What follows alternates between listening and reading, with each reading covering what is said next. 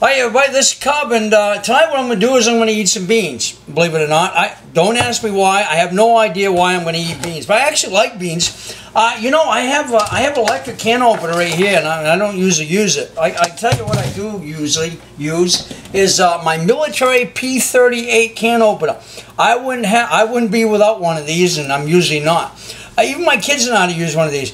This is a can opener we, we used when I was in the military when we ate C rations. Now, for you people that don't know what C rations are, C rations were the most disgusting things you probably could eat. Okay, I don't even know why we're still here.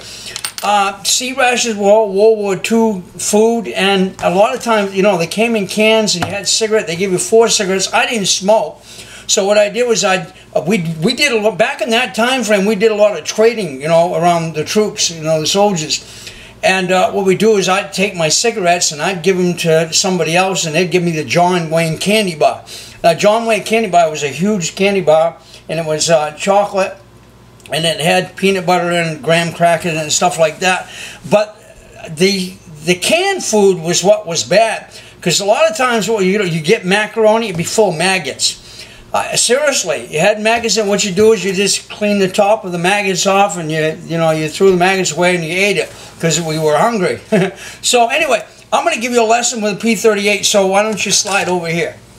Uh, come here. All right, turn you around here. Okay, I don't know if you can see. There you go.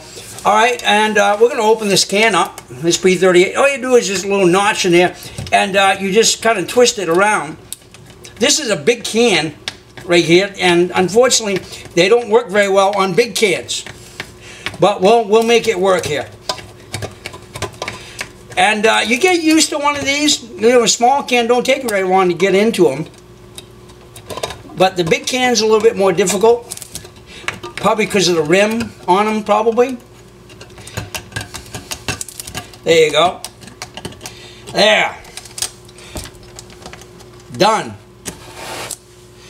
So anyway, that's your lesson on a P38 can opener. Don't leave home without one. Trust me, I got two of them. I even carry one in my wallet. Anyway, peace. I'm going to eat some beans.